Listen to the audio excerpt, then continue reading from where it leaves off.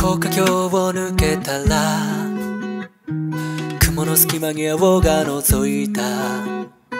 最近どうも暑いからただ風が吹くのを待ってた。木陰に座る。何かほぎつく。見上げれば頭上に咲いて散る。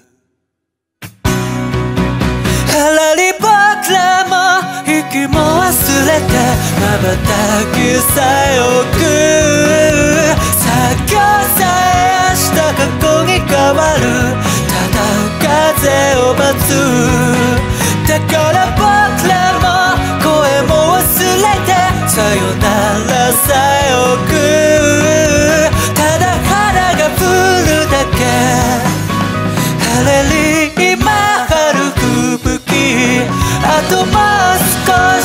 け。もう数えられるだけ。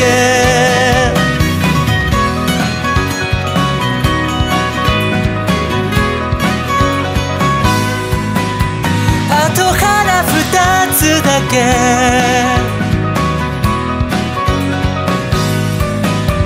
もう花一つだけ。